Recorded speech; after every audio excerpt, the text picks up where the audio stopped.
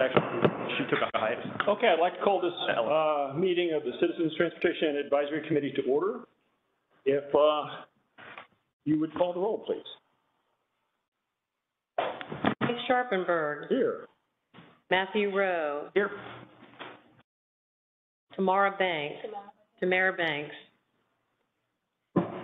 Josh Brock, Here. Morgan Birch, Present. John Castellarin. Justin Chenault. Jacob Clay, Here. Micah Cunningham. Tara Durant. Patricia Encarnacion. Hubert Farley. Mr. Farley let us know that he's ill and, um, may not be able to attend. Glenn Goldsmith. Larry Gross. Mr. Gross also advised, uh, he's out of town and not able to attend this evening. Jerron Hayes of King George also let the chair and myself know she's not able to attend this evening. Uh, as well as Neil Holleran, unable to attend. Michael Hoyt, Travis King, Nicholas Kwatnowski, David McLaughlin, Here. Ken Pogue, James Powell, Dustin Savage, David Swan, Here. Rodney Thomas is attending remotely. Yeah, I think they did, you know. Uh-huh. Here. Good evening, Rodney. Good evening. Can you hear us okay, Rodney? Yeah, I can hear you fine. Can you hear me? Yes, very well, thanks. Great. Are there any other CTAC members whose name I've not called? You have a quorum, Mr. Chair. Thank you. Um, Just to review, we, since we have a recorder that's capturing minutes, if you, you know, if you make a motion or make a comment, please identify yourself so the recorder knows who is making the comment. All right, first thing I'd like to uh, address is approval of the agenda. Are there any additions or deletions to the agenda?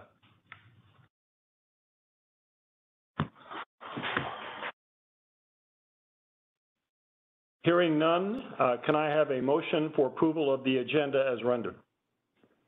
David Swan, I'll make the motion to approve. Thank you. Is there a second? Second. Morgan Birch. Great. Okay, discussion. All those in favor signify by saying aye. Aye. Aye. aye. Any opposed? Any abstentions? Okay, the agenda as uh, rendered is approved. Now, uh, I hope everybody's had a chance to look through the minutes of the last meeting. I know uh, Dave has got a, Dave McLaughlin has got a uh, modification to the minutes. Go ahead. Okay, on, uh, eight, item eight B, Okay. uh, it, it says it was unanimous. Um, and I can understand why. I voted against it, but I was voting remotely and I got stepped on by Neil and even David said, hey, did somebody say nay? And so anyway, Yeah, I thought it, so it, it- it doesn't change the outcome, any- but it was not unanimous, that's the only thing. Okay, it wasn't unanimous. And, and for the record, that I voted against okay. Are there any other, And hold on, that was, Eight um, B, B. there's no two, or eight B, Yeah, two. whatever. There's a two. Two is the one that says unanimous. There's no B. So this is the amendment to goals to improve accessibility outcomes? That's correct. Okay. And, uh, Oh, okay, so a just voice motion vote. passes. Just Voice vote, I said, Yeah, just motion passes. Great. Right. Thank you. any other changes to the minutes? Hearing no other changes, please go. I was wondering, wasn't that, if for accuracy, the, didn't we drop the, uh, eight A one? Wasn't that all, a large part of, uh, the review of the policy committee, kind of just threw it into that section so that the order of it was thrown off a little bit, because if we looked at six with public comments, I looked at the video again. We did call for the public comments, then we went to old business, then we went to eight A two. And then skipped over the second public comment. We, we start off. We forgot. We start off We- we forgot. By amending the amendments, though, I mean, amending the agenda, Yeah. delete some items. Yeah, and, and, and so eight, Change eight, the eight, one numbering. got Oh, I bet shifted in it's with a different label. five, Yes, so it got, the- the- it got all moved around.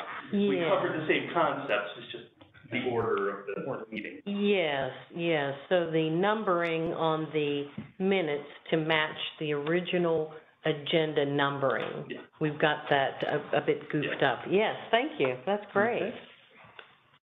Are there any other comments or corrections to minutes? Hearing none, can I have a motion to accept the amended minutes?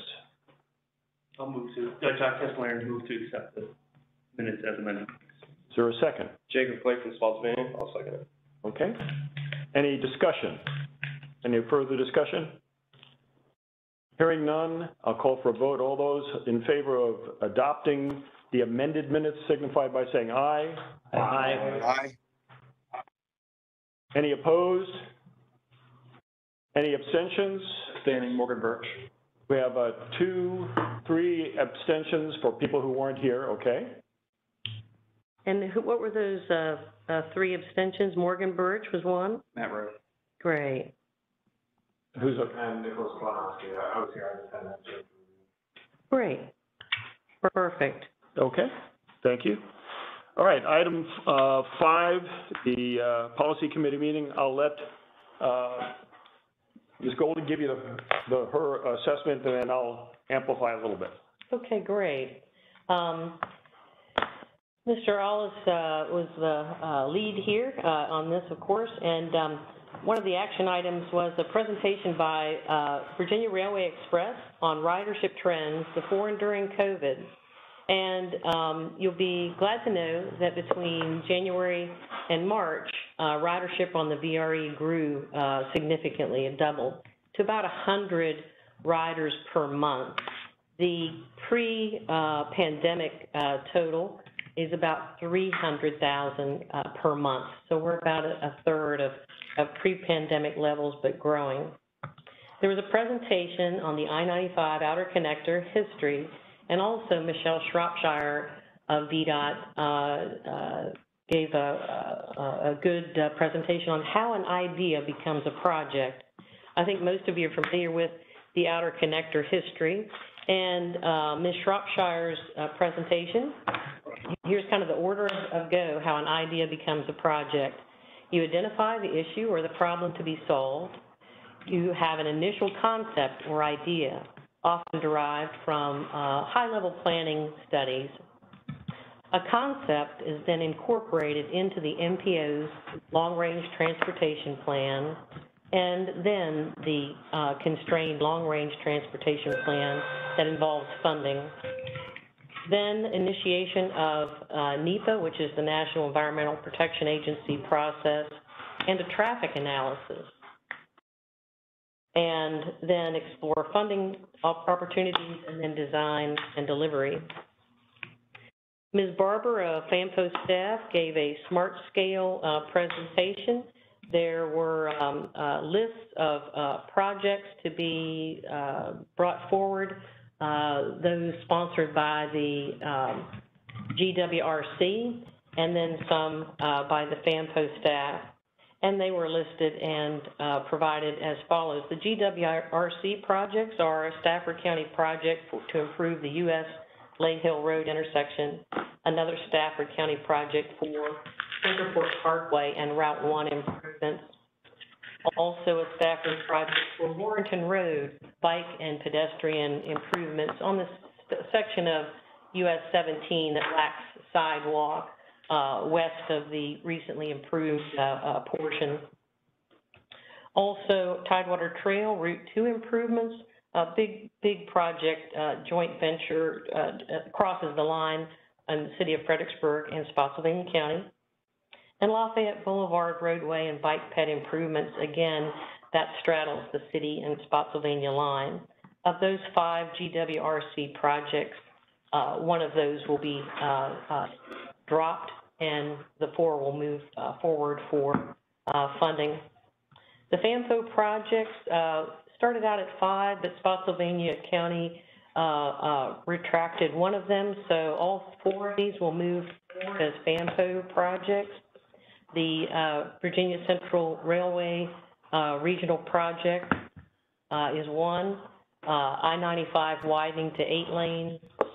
US one, uh, Lassen Lane to Idlewild Boulevard, and US one Massaponax corridor. The next, were some opportunities, there was some additional funding, uh, provided, uh, for the two programs we discussed a little bit last time, the congestion mitigation air quality and the surface transportation block grant, uh, projects. Uh, this was good news. Additional funding came, uh, to the, to the region sort of at the last minute. And, Jordan Chandler, of FAMPO staff and Ian and, and the Technical Advisory Committee worked together to fund these projects. Um, we have the Route One, uh, exit one twenty-six, southbound improvements. This improves the operations, uh, going southbound, uh, on ninety-five. Garrisonville Road widening received some additional funding, I believe design money for both those. And we, uh, also, um, uh, needed a little bit of money to close out the staff, the FAMPO staff's effort, uh, for our development of the long-range transportation plan, and a small amount for the upcoming September freight summit, uh, for us to engage a consultant and hold that, uh, activity. Real good news on the CMAQ side, uh, to fund the requested amounts. These are remaining amounts that were needed to complete these projects. Uh, the Harrison Road VCR Trail, Stafford Borough Boulevard Sidewalk, and the Bankside Trail, uh, Phase One in the city of Fredericksburg. And then, uh, we also were able to fund a need for Spotsylvania new transit and leased commuter parking spaces, and a partial, uh, uh, funding to, uh, there's a need to, to purchase, uh, three additional Fred buses, and they were able to, um, maybe get a bus and a half, or maybe two buses with the money that was left over. Uh, go, going on to the, uh, remaining portion of the policy committee agenda, uh, we will be presenting to you this evening the highlights of the fiscal year twenty-three Unified Work Program, so I'll, uh, save that for later today. And then there's a, a bylaws discussion. Um, I, I did, uh, did make a hard copy of the, um, proposed bylaw changes that have been on the policy committee agenda for consideration, if anybody wants to take a look at those. That concludes my presentation. They did not address those at all. No, they did not, uh, but this is a copy. Yes, sir. Uh, Mr. McLaughlin was not there, and then he's the, the proponent for that, yeah. Yes, yes. And so that concludes the presentation of the policy committee highlights. Okay. Also, at the meeting, uh, I gave a short presentation as a member of the policy committee of the four slides that you saw previously. Uh, Briefed those present uh, remotely or uh, in attendance uh, as to what we were looking at, uh, the eastern and western connector, roughly where it would go, some uh, strengths and weaknesses, and generally, at least in my perception, I think it was pretty well received by most of the jurisdictions that were present. So obviously, that's first blush. There are a lot of details that have to be worked out, but uh, I think uh, many of the people present uh, were receptive of the idea, and we'll talk about next steps a little later on in tonight's agenda. Any questions for either me or for Becky? Chair, I have a question. I remember, it's been a couple of years now, probably four years, we had a supervisor from King George who sat on the federal air quality committee. Uh, I remember she's a very petite woman, just a firecracker, really good at what she did. She, she represented the region on air quality. And I just want to know, I, I never heard it, because she's no longer a supervisor. In fact, one of the CTAC members became the supervisor, I don't recall her name right now. But replaced her, and I think she beat her in the primary. But I'm wondering who is representing the region here for air quality? at the federal level. Because she was very active. I don't know if you remember that, Dave. No, I'm trying to, I'm trying to think. I'm just trying to think of her name. Uh, uh, Well, you probably, you didn't see her because she was on the policy committee. Yeah. She was a member of the policy committee as a supervisor. She wasn't in the CTAC. And then one of our CTAC members who used to sit down here, uh, from King George, when I was chairman, uh, ran for supervisor. She left the committee and ran for supervisor and won. And I don't know if she assumed that role or not, but it'd be probably worth asking, checking. Because, uh, the representative in the policy committee meetings I attended as a chairman here, she would give an update on how well we were doing. Air quality, From an emissions standpoint? Emissions, from policy, from what's happening at the federal level, funding. And It was good, Was it Ruby Brabo? yes, it was Yeah. Ruby. And you, if you know Ruby, uh, Ruby, uh, is, is a very uh, active at whatever she does. Do the planning regions have a, a link into that, or how is that organized? I don't know, because I, I never questioned it, because she was it, Ruby was, Ruby was everything, and I don't know if you don't know her that well. I, I do remember a couple Yeah. of times that I was at where she was there, yeah.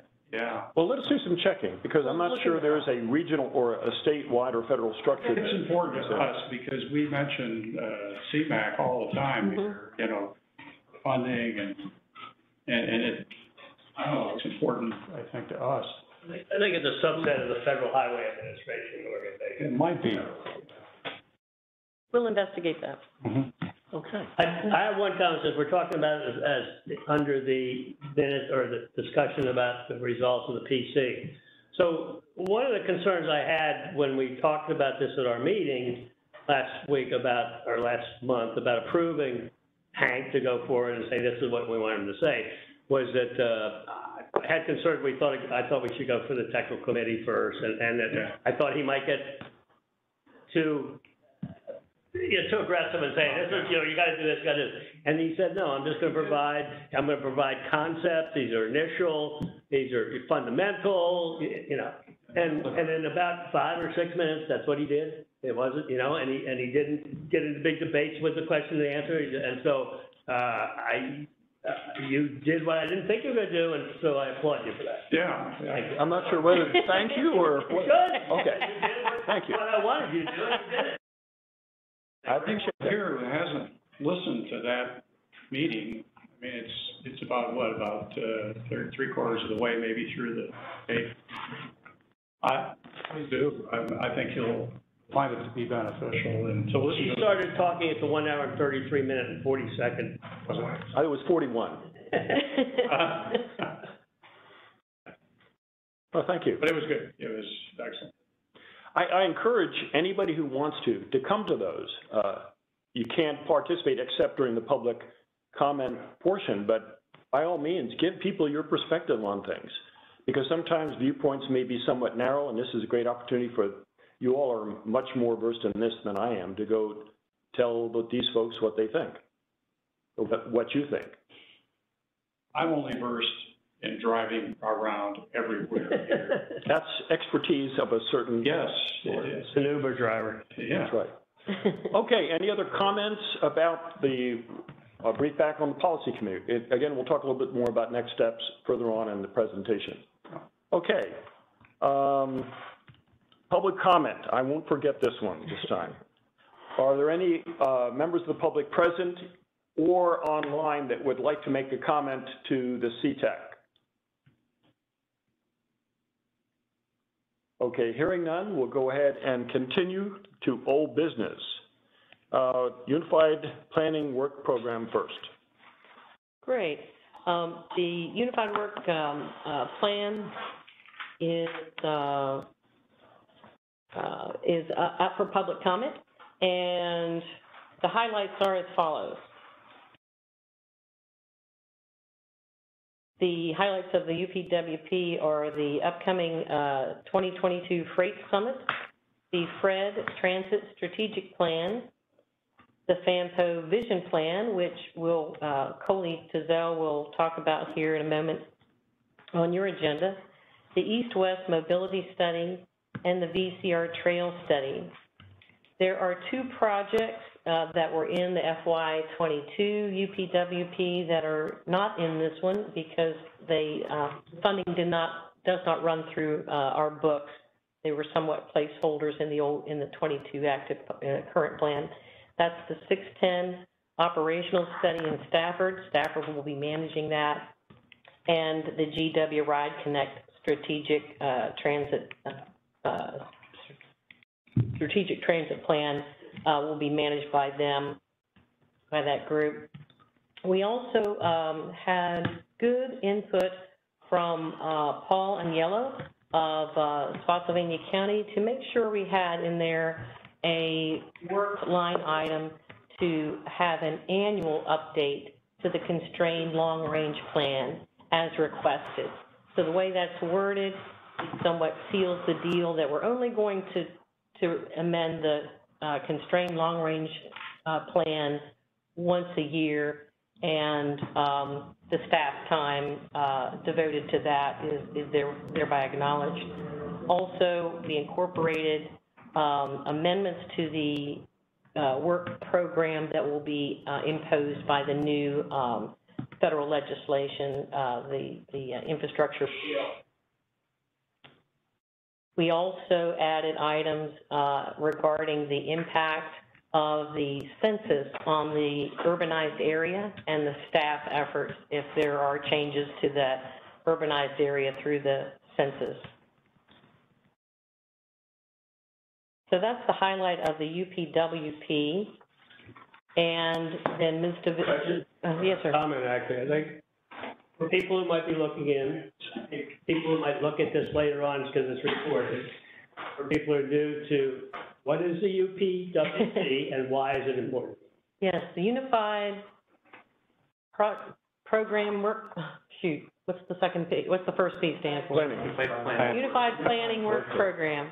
Um, and Mrs. L has it on the, on the screen there. It's a document that pretty much outlines what FAMPO staff does for the whole fiscal year and what we, uh, estimate those costs to be and, and percent of time and effort to be. So it's a very important document that is out for public comment now, and it guides our work for the, for the fiscal year twenty-three. I mean, in an extreme case, someone from the public will say, why are you doing that? Study putting money against that. Yes, yes, and it also, That's important. also makes sure, um, if there's something that comes, uh, that's not in that, uh, current, uh, uh, plan, once it's adopted, that we have a formal amendment to the plan to, uh, for that staff effort to be adopted by the public, if you will. Thank you, Mr. McLaughlin. If I could just add a comment. The, the point of that is, we are not allowed to spend money as staff without approval. And so once a year, we present this program, we're required federally by federal law to present this program to say, this is what we're gonna spend the funds allocated to us as a staff. So this is not for projects to build a road or something. This is to fund the operation of FAMPO, to run these meetings, to pay staff salaries, to pay the rent on the building, to, run the operation. So all the operational stuff that we do has to be publicly declared, and we have to give the public opportunities to comment and make amendments to it, because it's public money that we use to run FAMPO. So this is about the internal money that we use to run FAMPO, and we may not spend a dime unless it's specified in this document. So once a year, we produce this document, and if, if things come up in the interim that we wish to spend money on, we've got to come back to you and to the public, and say we'd like to make an amendment because this thing has happened, we need to spend some money on it. So we try to guess in advance how much money we're gonna spend in the twelve months and what we're gonna spend it on, so that we declare publicly to all and sundry, this is how we're gonna spend the money you've entrusted us with. And that's why this is important to tell all of our four committees, because it's the one opportunity each year when you get to say, you spend too much money on napkins, or you should spend more money on X. So this is your chance. It's gonna be voted on on the twenty-third, and then it will be, uh, almost set in stone for the next twelve months. So this is your one chance to say, we like what you do, or we think you should change something. And this is available on the website now? It's on the website. Okay. And one last comment, there's one other project I added at the last minute, which is in the document, um, with the approval of the, of the, ta- and that is to, to start discussions with our jurisdictions about what is called transit-oriented development. So a lot of what you're talking about at the moment is about increasing capacity to transport people to other places, whether it's Hank's plan to build some outer connectors, or whether it's a plan that you've got a proposed subcommittee on transit or bike and pedestrians and stuff. That's all about increasing capacity to move people. So transit oriented Policy committee will ultimately approve it, policy committee. And federal government re- reviews it. Mm-hmm. So transit oriented development is the opposite. We try to bring the housing and the jobs closer so that you don't have to travel. So transit oriented development tries to build housing and work opportunities in the same place or close to a big transit center such as the Frederick train station so that you can walk across the road and get on the train and ride the train to the Pentagon where you work. You don't need a car, which means less people will be on the road in front of you. The transit development is the opposite. We don't try to increase capacity of roads and train lines or bus, uh, bus systems. We try and remove the need for putting additional vehicles on the road by building everything that you need to get to close to a big transit center, like a train station or the Red Central Transit Center on US one. So that transit oriented development, I've put in a, a opportunity in this plan that we can at least begin a discussion with the jurisdictions about putting the construction closer to the transit or building houses and jobs in the same place so you can walk across the road to your job. So we remove the need for all those extra vehicles on the road. That's what that is. It's a small, new initiative. We're just gonna start with it this year. Great. Thanks, Mr. Chair. So please make your comments if you have any. Yeah, any questions or comments concerning the uh, Unified Planning Work Program? Okay, let's go on to Great. the next item. The rural work program is for Caroline and King George uh, counties and is adopted by the GWRC. The highlights for King George County in the uh, current RWP are the Trailways feasibility study implementation to assist in analyzing and prioritizing recommendations from the Trailways feasibility study and assist in grant application development for high priority projects.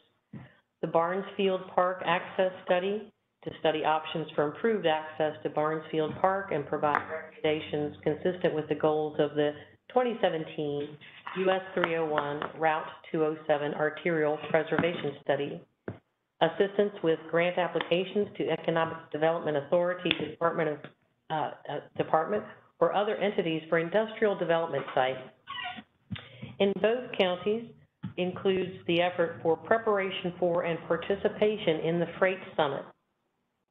In Caroline County, assist with development of the transportation component of Caroline County's comprehensive plan, including mapping, analysis, and narrative development for that transportation element in their comp plan. The Ladysmith Transportation Plan, expand on the Ladysmith Bike Ped Plan to encompass all transportation modes, analysis and mapping for mobility, access management and safety consistent with smart scale, arterial preservation, and other guidelines to establish a foundation for VDOT traffic studies. And funding, uh, funding sources guidance to research and compile funding sources for improvements to the Route 39, 639 Ladysmith Road Bridge over I-95 to accommodate bike and ped facilities and other needed improvements in the county growth areas. And uh, that concludes the list of projects in the RWP rural work plan for those two counties. Anybody have any comments? Does that one open up public comment too? No. unfortunately, you missed your opportunity. It was on your agenda last month, but you removed it. You remember you voted to remove some items? That was one of the items on last month's agenda, but it's too late now because the GWRC board is already um, voted to approve it, so you can't make comment at this stage. But at least we wanted to bring it back and make you aware of it because you did skip over it last time. And what Ian did not say is we wanted to get you out of here before midnight. So that's why we did a little bit of manipulation of the, uh, agenda and deferred that particular item. Okay, um, let's see. Member discussion. First item, uh, is next month is the election of the CTAC chair and vice chair. And if you are interested in running for the position, uh, I guess come to the meeting and have somebody nominate you, um, if you would like to, to do one of those two positions. Yeah, please let's not have vacancies.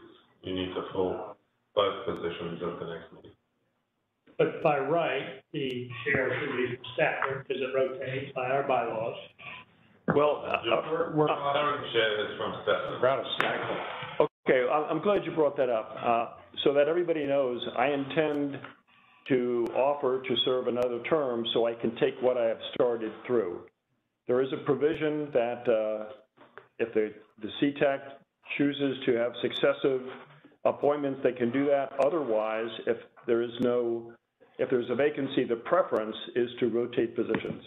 So I just want to let everybody know that, uh, I'm going to run again if you choose to keep it. I disagree with how you present it. The- It's not a preference, it is by bylaws that it rotates. However, the preference could be they don't rotate it and you serve a second term. Interesting you That's said very that. likely, and I would, I would be in favor of that, but, but I mean, it really, the, the persons, the people who need to speak up would, would come from Stafford, and then, uh, the, uh, Actually, the vice chair would then come from, Actually, sorry, I don't think that's correct. The Spotsylvania opportunity skipped because they did not have a candidate. And your current chair is from Stafford, and your vice chair is from the city. you're right, I got that it would back. actually rotate to Yeah, the that- I- city as being the chair, and Sparky should be the I vice said those chair. backwards, right? How about I read from the bylaws? That's a good thing. Yeah, I would. Okay. Uh, it says, "The chairman and vice chairman shall serve for one year with the option to be reappointed for successive terms by the CTAC. The officer position shall rotate unless successively appointed on a yearly basis between the respective jurisdictions. So every jurisdiction receives an equal opportunity to serve in each of the respective officer positions." So, uh, you can digest that, read it, but that's exactly what the bylaws say. So it's clear. Okay. Um, any questions about that election? That will be done next year, and the term, Next month. um, I mean, next month, and the term is for the fiscal year. Is it possible to initiate a review of the bylaws to determine the necessity of having positions being geologically bound and, you know, in, in succession like that? What's the, what's the necessity for that anyway?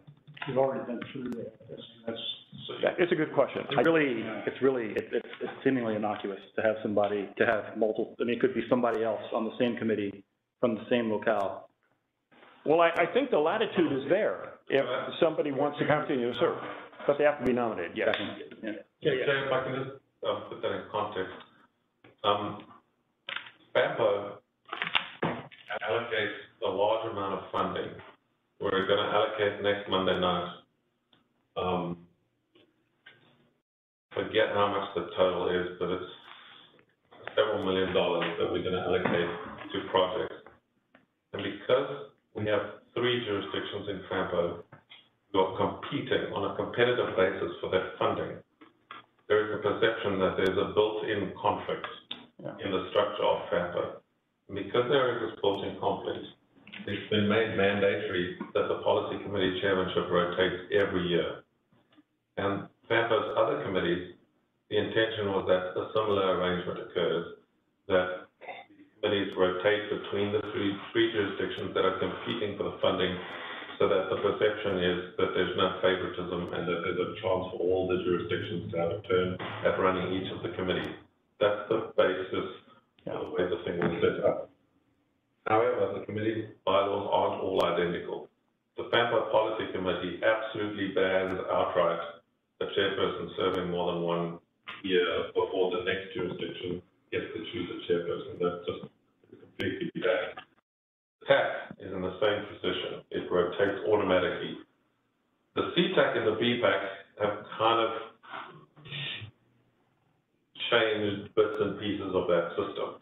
The BPAC is a slightly different animal. It only meets every second month. And it went into recess for a while and they resuscitated it and it has slightly different bylaws to, for example, the CTAC. They don't have a representative from BPAC on the policy committee. And they would like to change that because they feel like they're being left out. This committee similarly slightly changed it, but it, it, the principle was similar, and you'll see that in the bylaws, that it's supposed to rotate between the three jurisdictions. But this caveat was introduced in the CTAC uh, bylaws, and Hank is correct, that you can elect the same person for a second year, but only two years. After the second year, it has to rotate, whether you like it or not. So that's It, it doesn't say that. No, it doesn't say that. It that. does not say that. And so, Ian, we need to be very precise on the wording, because it says, now, just so everybody knows, I don't, I am not intending to establish a dynasty. I would like to continue this effort for the following year to provide some continuity, and then I will be happy to fade into obscurity. But I reread this, it's very explicit what is and what is not allowed. So we, if you have questions, please reread the bylaws. Now, back to your original question, I don't know what the mechanism is for proposing changes to the bylaws and then getting it blessed. And I would, The change gets proposed, it gets voted on by a supermajority of the committee. Yeah, what would be defined as a supermajority, sixty percent Two-thirds of this, of this sitting committee, of, of current membership. Of current membership? So does that mean that they have to be present also? I would hope so, if they're gonna vote. Yes. Well, no, I'm saying, Current membership, not present members.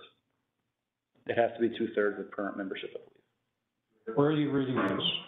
What's that? In the bylaw? I'm not saying right now. I don't remember that in the bylaw. I think it's, And I rewrote it. can we defer, all right, can we defer the answer to? Yeah, absolutely. I'll do my research and come back. Yeah, we'll, we'll go look at the bylaws and, and, and take a hard look. We'll add a, uh, an agenda item. Uh, I think the, the desire is to examine whether the, uh, exclu- um, uh, exclusive, um, rotation is, is a, a, a, a potential amendment to the bylaws to revise the current statements with regard to jurisdiction rotation. Is that? Yes. In other words, Yeah. make it like the policy. And I have a reason for asking, right? It's not, uh, you know, we are an advisory committee, we make no policy, but whenever you have somebody in a position that is able to implement Robert's rules appropriately and they have a sound gavel, you don't want to get rid of them just because, just because the, the policy committee has to, right? I think, yeah. Anyway, Great, great. We'll add an Yeah. agenda item to that effect. Okay. We're not bound by what the policy committee does, it's basically for our own entity. Great. Any other discussions about that? Yes, sir. I might, I might have missed it, um, because I'm still like relatively new, uh, to this committee, but is it, to run for chair or vice chair, is it correct, did you say that you have to be like from Stafford for the chair position? Okay, just wanted to clarify that. Yeah, the preference would be, it- when at all, when feasible, yes, but it is not written in stone. So if Not you, defined, it just Not says it defined. shall, um, uh, rotate unless successfully appointed on a yearly basis right. between. So there is no framework on wh- which ones are in in turn can jump around. So this sounds like a, like an unwritten thing that people have been doing. It's in, it's in the bylaws. I, I think the way that Shall, so it needs to, it shall happen successfully, but it doesn't define which region needs to be in what order, so it's just um, No, a it shall. says there should be an equal opportunity. Equal between opportunity, jurisdictions. yeah. That would imply that they each have a turn.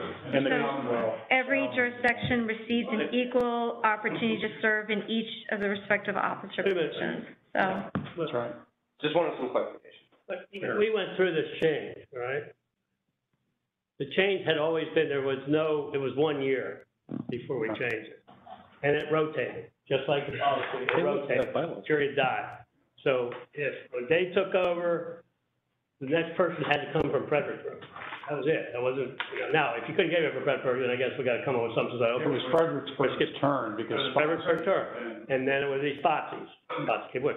So, uh, so it, it, it, it, we had to do that. Um, then we added, hey, if somebody's doing all right, where everybody's having, we can let them do it twice. So It's by agreement. it's So, permitted. the, the idea of re, you know, if, if, if you served, I've served, you served, it's gotta be another jurisdiction in order.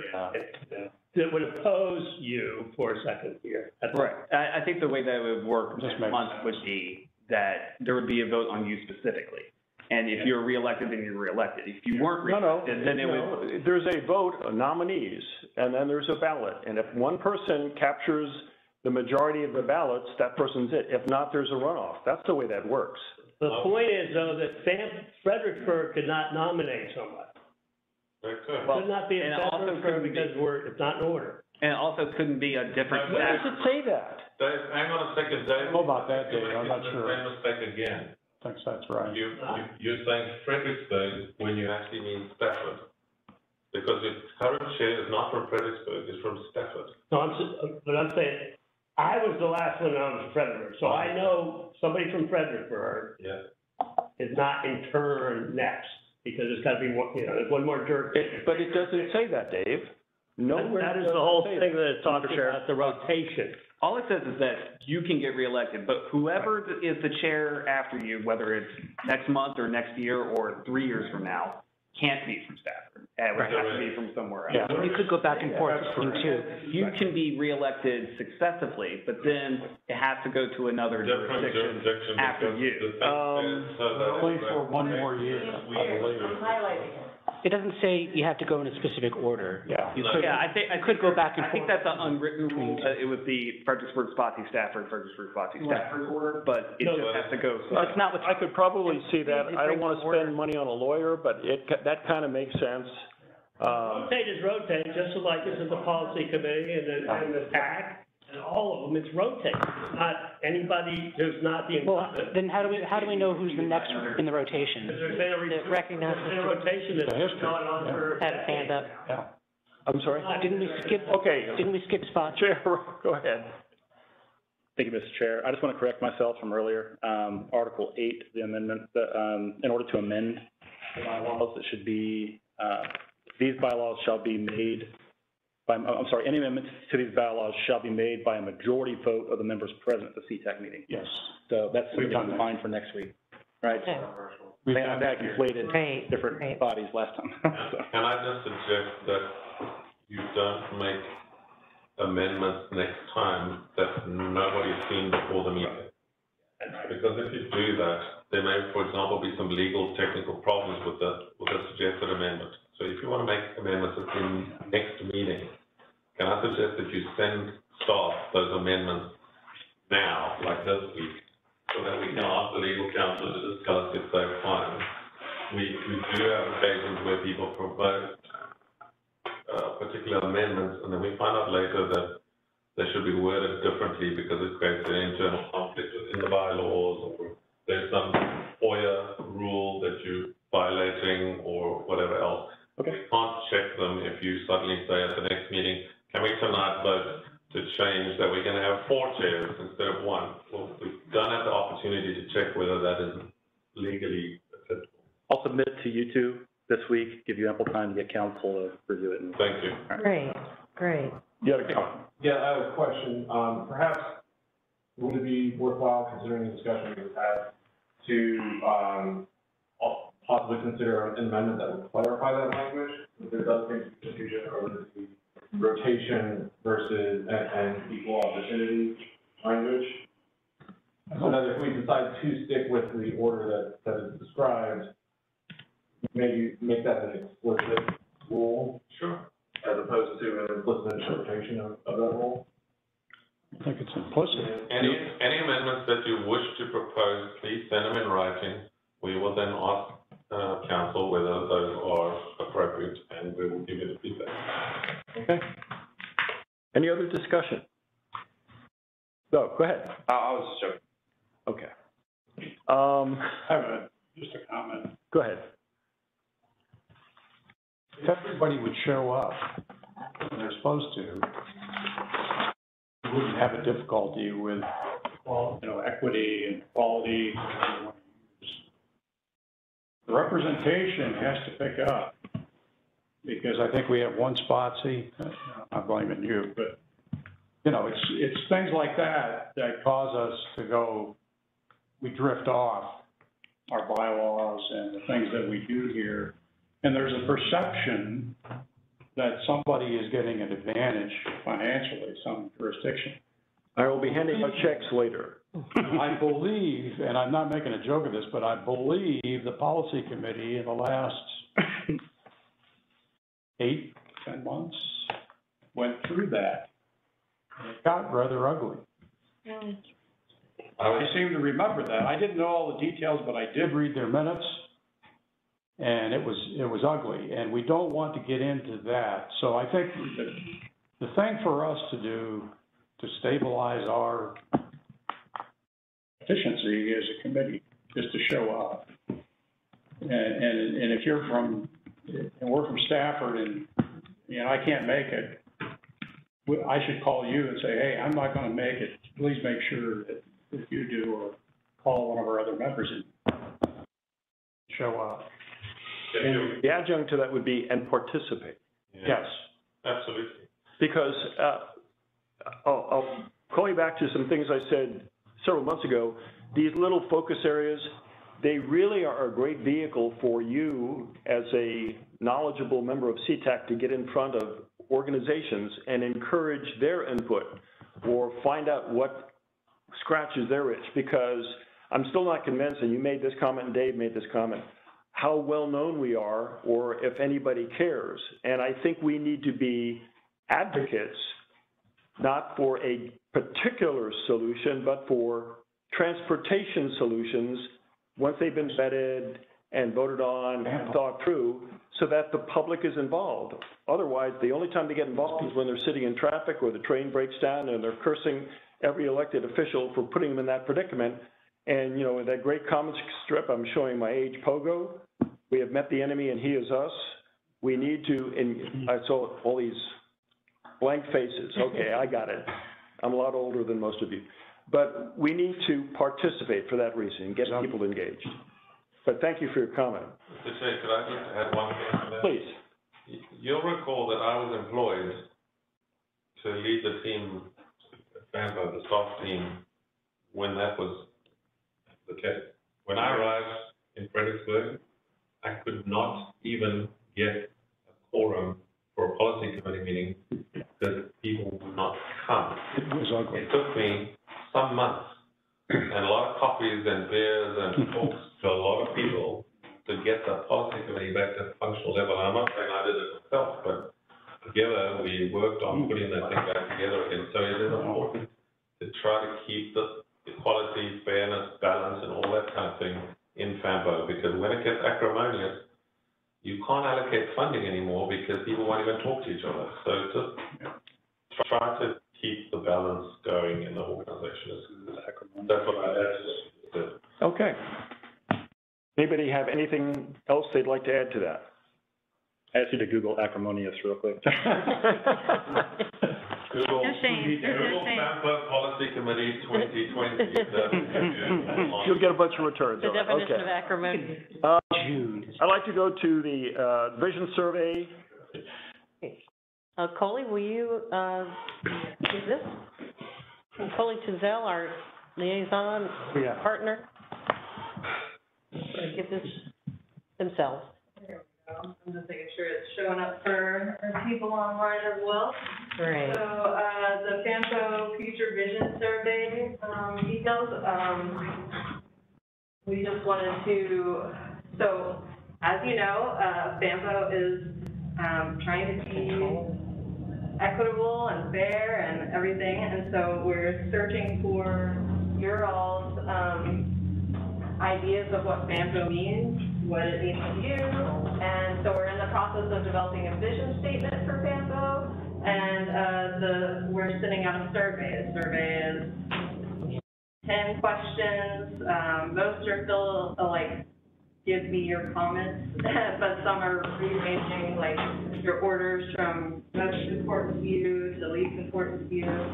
Um, yeah, so, so it's a variety of response styles, and every member will receive a unique survey number, so you all remain anonymous, and each member will be, um, emailed the survey directly.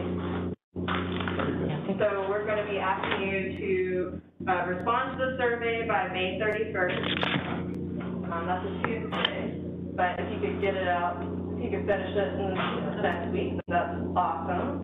Um, and I'll be following up with you with an email if you, um, haven't submitted the survey. And, um, after we receive all the surveys, will, the FAMPO staff, um, will compile the data and present that data to each committee, so you all will see this again.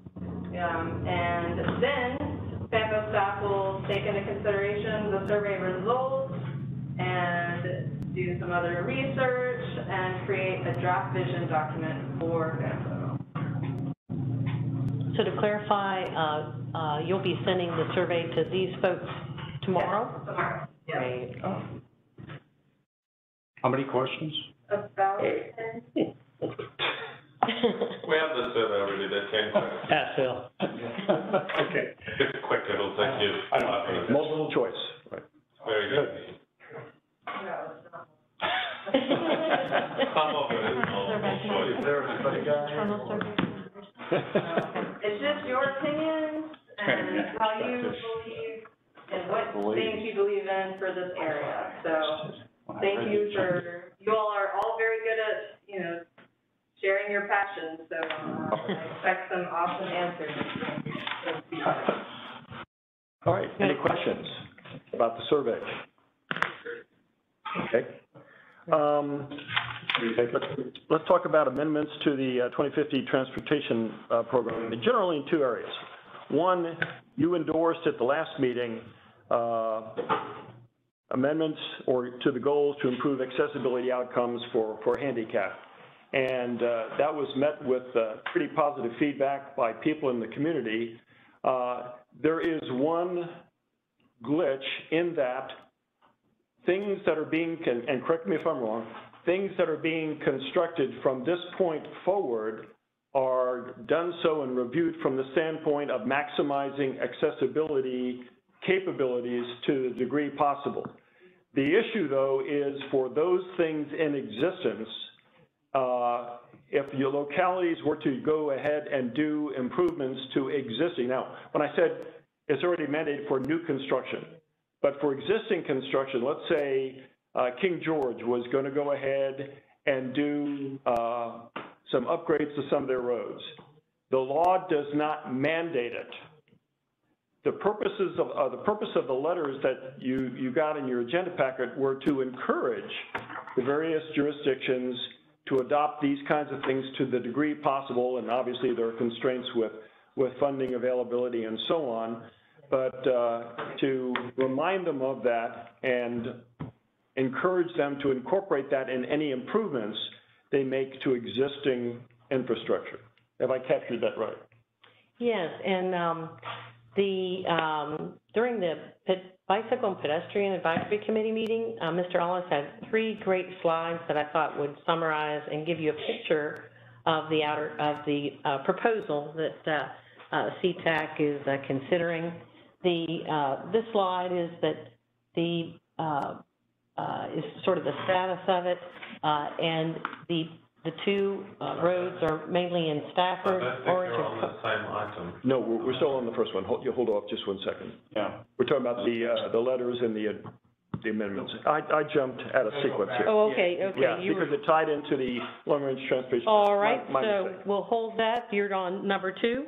Yeah, so. Great. Just to, to finalize that, I see this as an excellent opportunity for our, uh, focus, sub-focus groups to help localities prioritize some of this stuff. Because the initial response somebody might say is, well, if you're gonna, if you're gonna improve twenty miles of this given roadway, uh, somebody would say, well, we've got to put a talking traffic light at every intersection.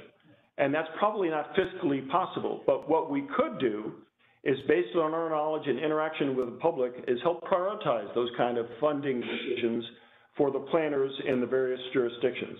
And this is, this would be a tremendous opportunity for the three focus subcommittees, or focus, whatever, whatever we're calling it, for the three groups to go take a look at these kinds of things, improvements to existing infrastructure, and help the, the localities prioritize getting the best bang for the buck on things that are gonna cost money. So keep that in the back of your mind, because I think it's an excellent opportunity for us to further engage with our jurisdictions. I have a great example for you.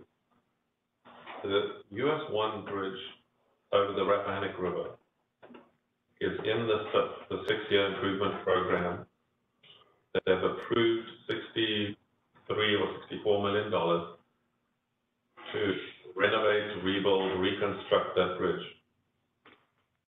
There's no requirement that they must put either a bike path or sidewalks on that bridge because it's a renovation of an old bridge. So this kind of a letter would say, hey, you need to pay attention to people that are disabled, on bicycles, people that are gonna walk. And don't just replace that bridge with a bridge for cars only. How is somebody else who doesn't have a car supposed to get across the river?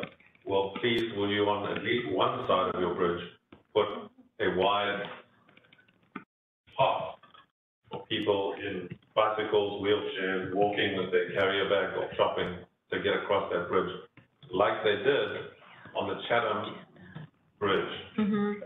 There is no requirement in law that they have to do that on the replacement or renovation of the US One Bridge of the Rappahannock. This letter would say, hey, please pay attention, we'd like you to do this, because you're gonna spend sixty-four, sixty-three million dollars rebuilding this bridge. Now's the right time to put in these accommodations, because you're not gonna come back and do it again later. So while you're doing it, please adjust the design so that you put these accommodations in. And I'm, on this particular project, trying to convince VDOT to alter the design so that we get a place for people to cycle across the bridge, walk across the bridge, be pushed in their wheelchair across the bridge, and not just replace the car facility. So this, is because it's not codified as a requirement for future, a, For future, yes. it's a renovation of an old bridge, so there's no law that requires that they have to do it. if there is a renovation on, well, if, so if it's a new, If it's a brand new bridge, there, there are laws now about what you have to take into consideration. But for an existing bridge, you don't have to do it if you're just doing a renovation. But there's, there's gonna be a significant, I mean, we're talking sixty-four million dollars worth of renovation. This is not just a paint job, this is a major renovation. And so I'm saying as the head of FAMPO, it's in our jurisdiction, it's connecting Stafford and the city, and I really think that this is the time to put these accommodations in so that people who need other facilities have those facilities, and they're not required to do this. So I'm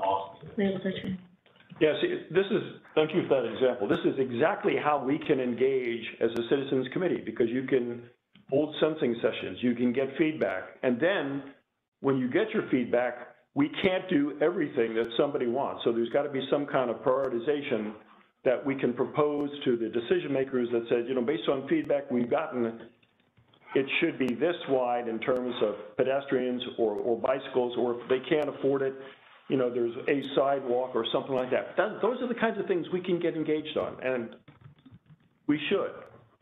Because we won't get another chance. They're gonna do it now, once, spend sixty-four million dollars, and not touch it again for fifty years. So now's the one shot we've got to say, do it now, please. unless it's codified. Yeah, that would be great. I'm listening. Has VDOT given us any kind of a heads up or estimate of what proposing might cost? No, but what they did with the Chatham Bridge, which was pretty clever, is that they took the allowance for sidewalks on both sides and combined them into the space on one side to make a nice wide path with proper accommodations that you could fit a bicycle or a wheelchair or something else.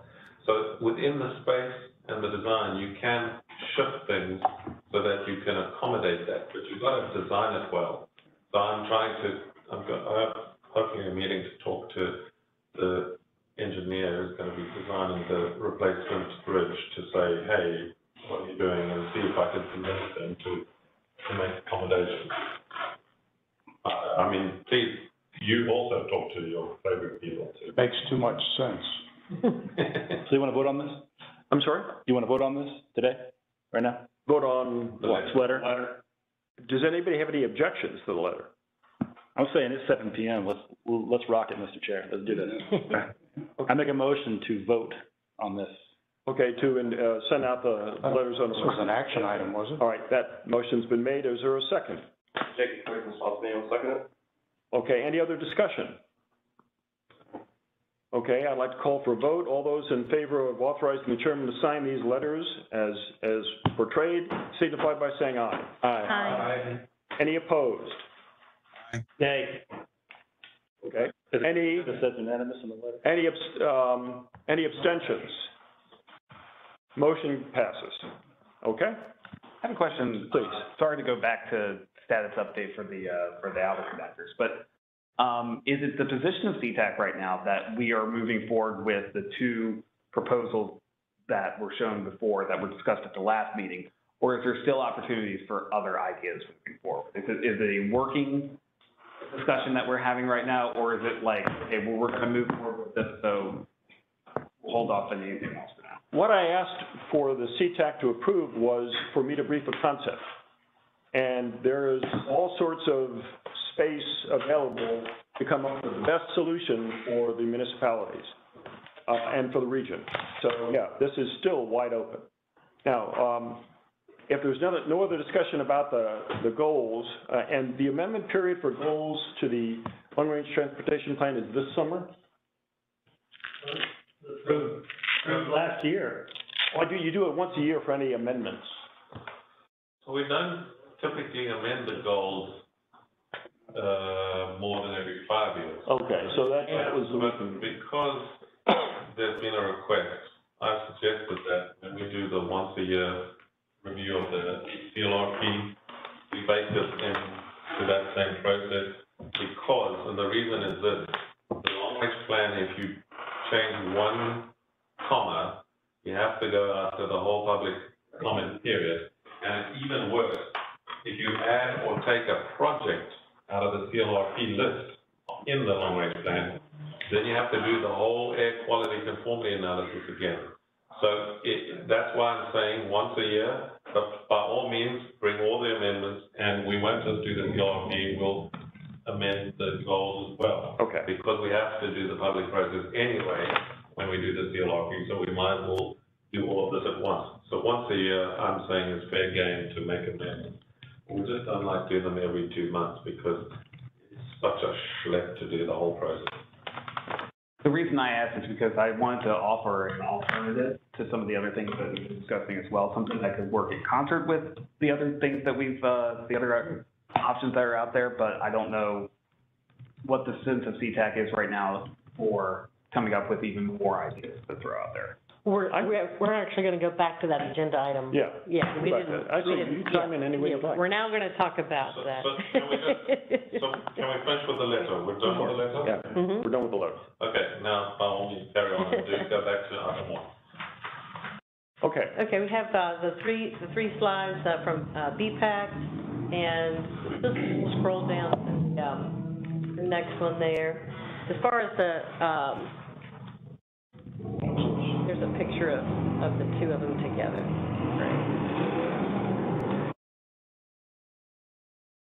And what we've, uh, what, uh, uh, CTAC has done, uh, to date is, as we, uh, indicated, we, uh, reported, this map was not provided to the policy committee. Um, Mr. Sharpenberg took the, existing maps of the outer connector and just showed policy committee the concept of taking, um, and the, um, the line to the left of the screen, uh, is, uh, from, uh, Route Three at Lake of the Woods, where, where Coley has that cursor, and goes through timber property, forest land, and straight up to Warrenton Road, US seventeen, through Stafford, crosses the Rappahannock River, and goes into Stafford County. The southern portion of that is Orange County and Culpeper County. Um, those two, uh, comprehensive plans and the Rapidan Regional Commission Plan, uh, does not show a road in that area, but it also does not show, uh, any future development except for a small, um, retail and residential down at Lake of the Woods where they currently have, uh, sewer, uh, capacity. The alignment to the right begins at Centerport Parkway and Route One. It hugs the Potomac Creek, um, follows a power transmission line, and avoids, uh, existing occupied residences. And the idea is to stop it at, uh, White Oak Road, uh, primary route two eighteen, about six hundred feet west of Glebe Road. The, um, the next slide, Coley, if if you could go down to the next one. The idea with the proposal and the supposition that CTAC used was to try to use existing, uh, roads and existing bridge crossings. So in this slide, the dashed black line is the, um, new proposed route. It stops there at two eighteen and, um, in, in Stafford, very close to the King George line. And then traffic can use, uh, primary route two eighteen. As it goes into King George County, it changes the road name to Caledon Road. Then traffic could go down Bloomsbury Road. That's the road where, secondary road where the King George landfill is, as well as the trailhead to the Dahlgren Trail is right on Bloomsbury Road. Traffic can then, uh, go use primary Route Three, and then to Port Conway Road, which goes down to three oh one. Traffic can then take the existing three oh one bridge down into Port Royal. And, uh, on Port Conway Road, um, it's, uh, uh, a, a good secondary road. Uh, there's a lot of residential development. There's also a project VDOT has to, uh, improve the safety at three oh one and Port Conway Road to install a, uh, restricted, uh, turn, um, movement called an R-cut median. Right now, there are a lot of crashes because there's a lot of traffic trying to turn left into Port Conway Road northbound, and folks trying to go northbound from Port Conway Road. So VDOT's going to, um, use an innovative intersection design to help improve the safety there, uh, and that's an active project. Oh, yeah, it's on that curve there by the Ford dealership. Yeah, so they're, they're, uh, you call it a jug handle, uh, they'll, they'll make it so you have to go, uh, up past the road and then, uh, turn left, kind of make a, make a U-turn, a safe U-turn on the, on the lanes and then. Right. So kind of prevent the, and it also eliminates having to put a traffic signal. That's sort of the traditional way to, and that can, creates a lot of congestion. So this R-cut, uh, innovative intersection is a really popular, um, uh, way to improve safety, but still let folks go in and out. So, so segueing into sort of next steps from my perspective is, I've reached out to the Stafford planners since the dotted line road from Centerport Parkway down to 218 is in their comp plan, but as a dotted line. And they, they would need to further refine the plot of that to avoid existing homes and other things that they shouldn't go through. Uh, and also on the western portion, propose a leg that would go from Highway 17 down to the uh, Culpeper County line. I guess. Uh, So Yes, mhm. they're, they're working on that, uh, and then assuming they come up with something that makes sense, uh, Stafford Board of Supervisors would have to vote on that as an amendment to their comp plan, because they're solidifying a, a road that was just dotted beforehand and adding that leg down to the county line, uh, on the western side.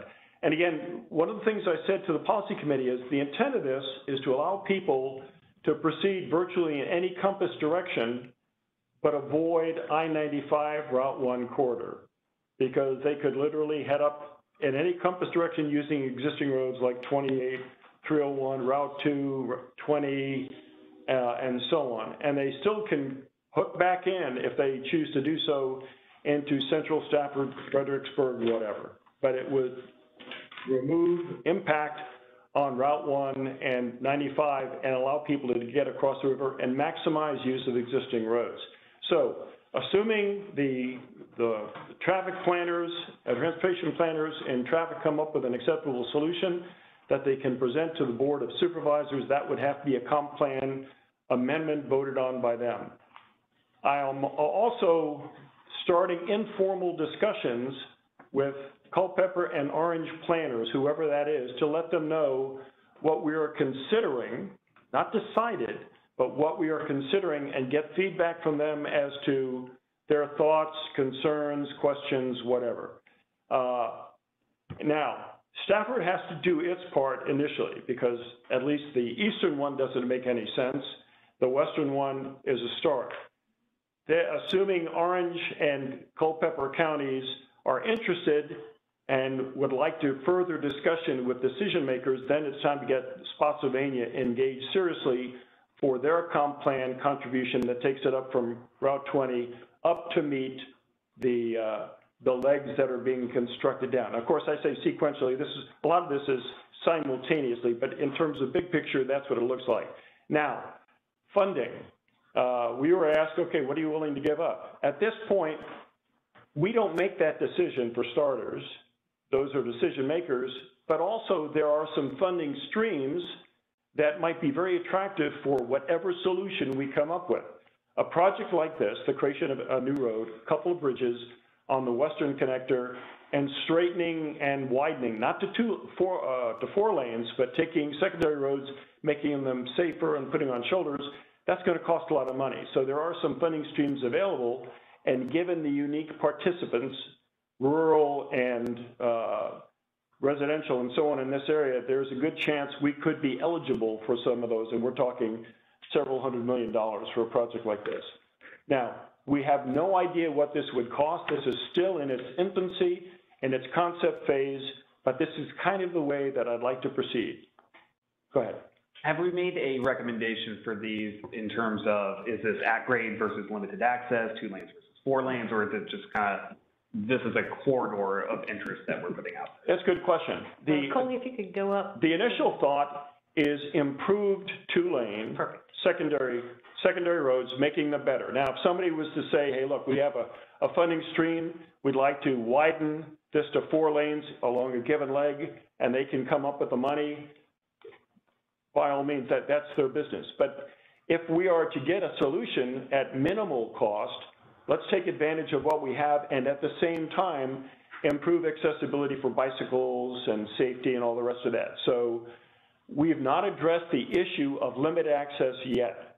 That would be up to the jurisdictions because they want to help control, I guess, sprawl and everything else. But if you look at the plat, the plot of the road, on the western side, good luck building something out there in terrain that doesn't perk for the most part.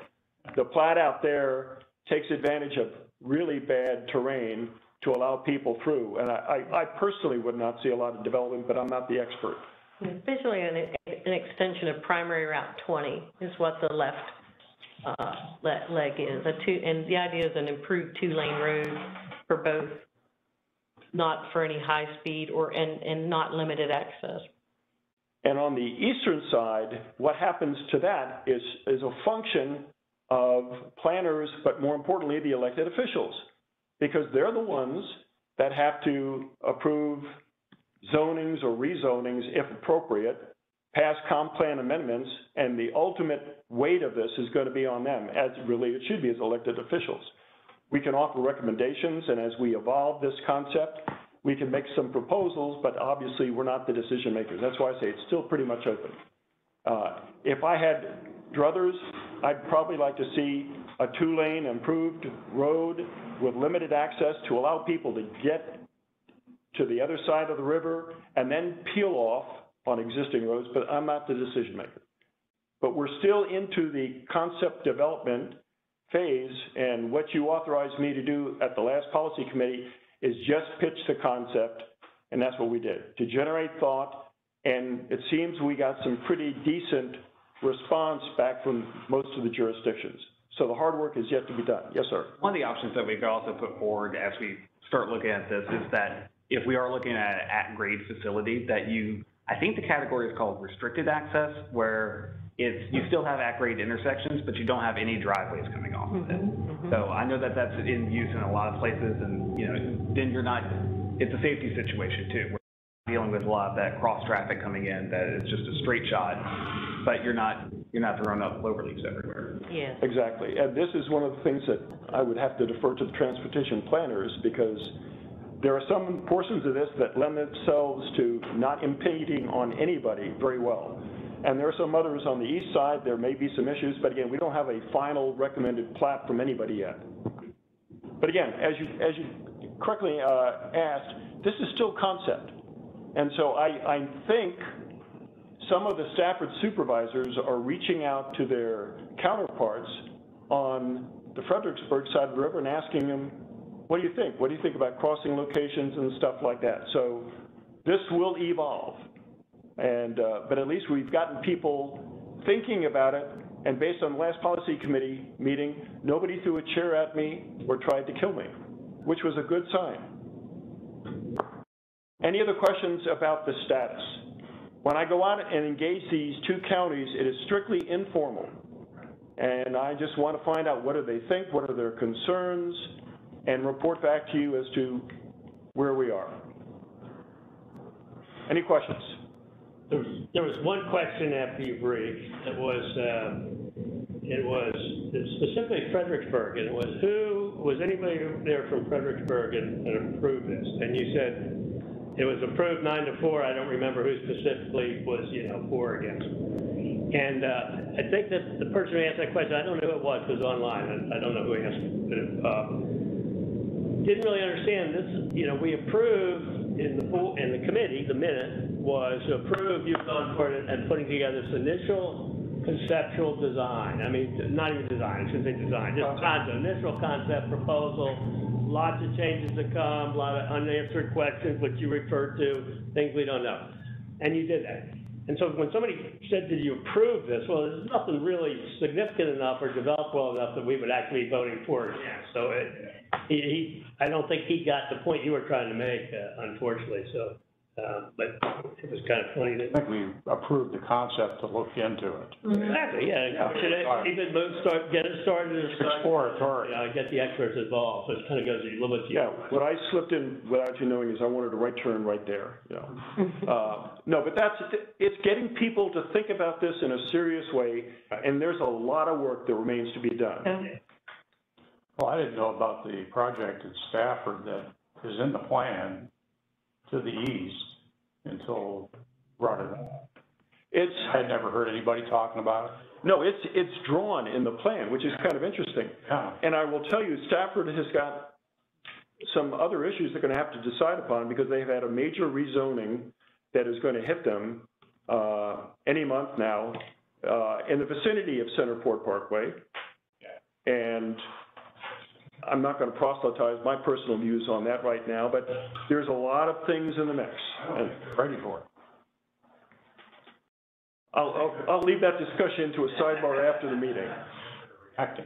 Um, okay, any other questions about the status update of where we are? And please, if you have recommendations, this is the forum to do it, because based on what the, the current truth from this collective body is, that's what I want to feed back to people and say, what do you think? And if it changes, that's okay too. Sir, I brought a recommendation tonight if you'd like to see it. please, Sure. by all means. I actually have enough copies of this. I can provide electronic copies if I need to. So basically, um, one thing that we've been talking about a lot is. Sure. Okay, great. I'll, I'll, you Take talk one- and I'll, I'll, Take one, pass it down. There you go. okay, great. I don't need a copy of mine. So anyway, one of the things that we've been talking about a lot is just trying to alleviate some of the traffic from 95 and to provide other options to get on the interstate, uh, for folks. And this is a wholly Stafford option that we have here. Is, if you see on one side, there's a, uh, sort of triangular polygon that was drawn in. The issue that we have in Stafford between South Stafford getting to Central Stafford is that there are no connections for uh, for cars between Route One all the way over to Kellogg Mill Road. Uh, you have, you have the creek running through there, and there's never been a connector that's actually been, uh, built or anything really in the pipeline for the most part. What I suggest is that we at least look into building a connector between the end of Plantation Drive and then going up to that curve at Centerport Parkway as it curves towards Interstate 95. This is something that's very similar to what's in the Stafford Comprehensive Plan right now. Theirs is a little bit different. It connects that curve for, um, at Centerport Parkway to the intersection of Enon and, do this real quick, Enon and. Plantation? Not Plantation, it's the, uh, Old Chapel. It's Old Chapel. It's not really labeled on there, but it's over there by the cemetery. If you know, over there by the church with the, uh, sort of a triangular cemetery at the curve of Enon. Uh, instead, my suggestion was to actually plug that into Plantation, using an intersection that already exists. It's just a thought that I'm throwing out there. The one thing that would help is to get a lot of that local traffic that otherwise would be coming down Swanson Road to get on ninety-five at exit one thirty-three. Anything that's in that area could hop up to Centerport Parkway and uses an interchange that isn't nearly as used as exit one thirty-three is. So that's one of my suggestions. Can you put another one here, what the proposal would be? You know, just do a second It's on the slide. side of the page. Yes, Oh, it's on the other side. saving paper. This would essentially open up another crossing over the ninety-five corridor. Exactly. It's, it's, it's a Brito-esque option. I think his was, uh, Alternate. actually had, uh, Centerport Parkway going out to the west. This is actually just staying a little bit more local, and it's a shorter, Sort of like a Bria Parkway modified. yeah, modified. Yeah. So it c- comes into something, it's a lot shorter, hooks up with a couple of existing connections. I don't know what the status of that is, but I'll take it to them. It's on the comprehensive plan right now, but this is a slightly different alignment of something that you do have in the comprehensive plan. They just redid the comprehensive plan, uh, just a couple months ago. Yeah, I think that has independent utility in addition to the, to, this is Yeah, great. This seems separate from the issue of crossing wire and Right, but what the idea is, is that it will alleviate some of the congestion that you have there at Warrenton Road as it tries to get onto ninety-five.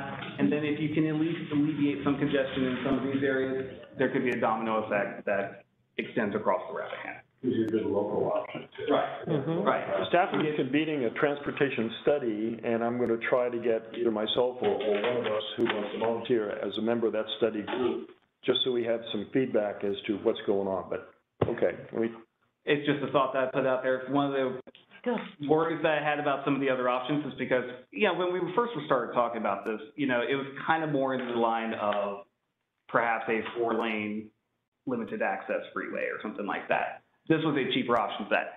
Having seen the discussion of, uh, sorry, I missed the meeting last month, but since it's more of a discussion of. sorry, we spoke about you while you were gone, that's. Right, right. So since it's more of a discussion about corridors rather than anything specific, and that's different, this could work in concert with that. Yes. It's- It's an option to just try to get local traffic that doesn't need to be on ninety-five off of ninety. Mhm. Okay. That's a great idea. There are some, all right, there are some rumors associated with that rezoning, I'll leave them in, forget that. We won't even go into that. Thank you for this. Yeah. Would this conflict with that, those rumors? What's that? Would this conflict with those rumors? I'll wait till the meeting's over, Okay. and then I'll, I'll just pass it on. It's called Stafford Springs, and, uh, it hasn't popped yet, but it's being reviewed. Is it that, uh, Thirty-four hundred units. I don't think it's the same one, but there's a, net- there's one housing development just, it's on, it's off of Centerport, south of Mountain View. That's not the one. That's, that is a different one, that is, Yeah, this is, this is the son of George Washington Village. Okay, oh, yeah. Um, okay. okay, any other questions about that? Yes, ma'am. I did have a question. Um, this is great. Thank, Uh, there, you said there's going to be a development up there, thirty four hundred whatever development? It is, it's being, it's started to go through the review process. It hasn't been formally dropped, well, I take it back. It has been dropped, but it's not available for public reading or public comment yet. And it's called Stafford Springs. It basically puts thirty-four hundred units from Courthouse Road south to Ramoth Church Road east, correction, west of I-95, right under the airport's flight pattern. Yes. And since I sit on the airport authority, uh, obviously you can see how I like about that. But anyway, go ahead. So, this is gonna be my take on it, and I'm, again, everybody, I'm not a planner, I'm just here. If they're to put up these buildings and stuff, are the planners like active in this, so we could, so these planners could start talking about these roadways? Because if this is something viable, and they just built these buildings without talking to planners, you know, because I'm finding this is the problem that I'm seeing, and again, I'm not a planner. If these buildings are going up, the planners don't know about it, the cities are just and these roads are just, You, you bring up an excellent point, and I hate to keep preaching to the choir, but all of us need to engage in other venues than just this. For example, when, when your locality has a planning meeting, they have public comment sessions where people are given the opportunity to see what's been done and speak up. You need to be there with your knowledge of what's going on here, what you've seen, and make comments for them to incorporate just that. Then the other thing is, to wherever we can, we need to embed ourselves like ticks into these bodies where we have feedback of what's going on, and we can also inject considerations, like you just pointed out. Otherwise, everybody operates in a thousand little stovepipes, and you only see it when it comes into a crashing disaster, or has to be reworked with a lot of money and all the rest of that. So and as you know how I feel about public comment and getting the public comment out to the people, it's not accessible to all the people. It's only accessible to those who have access. Uh, again, I think this is great, I, I live near this area, so I, I think this is great, because I've sat on seventeen for, it seemed like eons. But if they're just gonna throw up a building and not even take this consideration, or they make the meeting to where he can't even get to him, or myself can't get to him, what is the other, what is the other option do I have to infiltrate? Because right mm-hmm. now, I think this is, to me, this is actually, Good idea. it's not, it's, it's viable for me, because I live in the area. and it's not all my idea. I mean, the, the, the comprehensive plan for Stafford shows a similar corridor in there. So I, I know that there would be some buy-in Just from them. From a staff perspective. Yeah. Projects like that are not approved without the county planning board being involved. And it's for that very reason that each jurisdiction develops a comprehensive plan to look into the future and which lists where they would like to build future roads. So when an application comes to a city, they have staff examine that application. And I have not sat in the Stafford, uh, planning office or in the, um, planning committee's meetings, but they certainly, when they get an application for hundred units or something, they then compare that with the comp plan, comprehensive plan, which has all of these future plans in it to see whether it fits with that. So they don't just randomly go and say yes or no to a particular project without doing some work. And staff are mandated to go and do that work and make comments to planning boards and, and other people that make these approvals. And you just heard from the chairman about his proposal and about this proposal. Basically, are versions of roads which are anticipated to be built in the comp plan. So it's not like either of these proposals are out of the sky. They, they're already a version of something that is already in the comp plan, which they consider when they review those applications. You might feel they don't take it seriously enough, so that's a different question about, does the planning board take these future plan roads seriously enough into consideration? You might want to agitate around that question. They certainly are required to do certain amount of due diligence when these applications come. And I think Becky was an engineer in uh, Spotsylvania County and would have probably had to do exactly that, make comments on applications so that the planning officials, when they vote on a particular project, have got that information, where the planned roads are in the future. So it's not a, it's not like it's a circus out there, it's just that sometimes certain views are a little bit more dominant than perhaps we might like. let me zero in on that one comment and give you real fast tutorial. Uh, Stafford, and I'm sure other jurisdictions are the same way. When a concept comes in, it's either inconsistent with existing zoning or not. If it's not consistent with existing zoning in terms of placement of stuff, then it requires a rezoning. So that leads to one level of review. Either way, whether it's uh, rezoning or existing zoning, they have a whole series of checklists they have to go through. What's the impact on schools, transportation, public safety? And have they been accommodated by the developer in terms of proffers? You've read the editorials. Uh, and invariably, developers don't cough up the amount of money that is associated with new development. The Planning Commission reviews all of these things and then makes a recommendation to the Board of Supervisors. We have reviewed the plan. We find they have uh, done all the wickets they should, or we find deficiencies in the transportation analysis or this analysis, and then they can vote whether to reject or accept the plan. That is not the final word. That is the recommendation that goes to the Board of Supervisors. And this drives me wild because if development by the county's own numbers is projected to cost $36 million in additional services that the taxpayers have to fund, and the developer only offers three, they're under no obligation to accept that plan. They can reject it if it's a rezoning. If it's by right, they can't. And so when you read these editorials in the paper, take it with a grain of salt. This is where we can get engaged by getting up in front, by writing articles, by standing in front of public bodies, be they planning commissions or boards of supervisors, and saying, you need to be aware of X, Y, and Z. And I can tell you what, bully pulpits are great things. When people know what the issues are from a strictly fact-based analysis, I trust people to make the right decision. But a lot of these things, they're not made in closed, behind closed doors. They're made in sessions of various bodies that nobody attends and doesn't bother to learn the details and make them evident to the populace. This, again, is where we can get engaged. I can help anybody here worm their way into Stafford kind of organizations. I depend on you to do similar worming for Spotsylvania, Fredericksburg, and King George. And I think we have some momentum where we can do just that. You had a question? Yeah, well, a comment really. Um, and this, this is something I gave a, I gave a presentation some months ago about, uh, to this body about, um, organizations and, the- and the fundamental way they work.